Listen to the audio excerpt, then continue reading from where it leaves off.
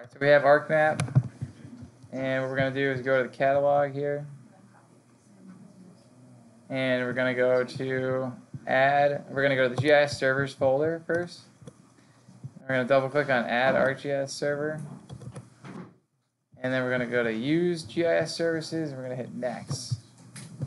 Then we're gonna take the email, the, the URL that I sent you and that, and you're gonna highlight this, because we're gonna basically remove that. We're gonna start from scratch, and paste that full thing in.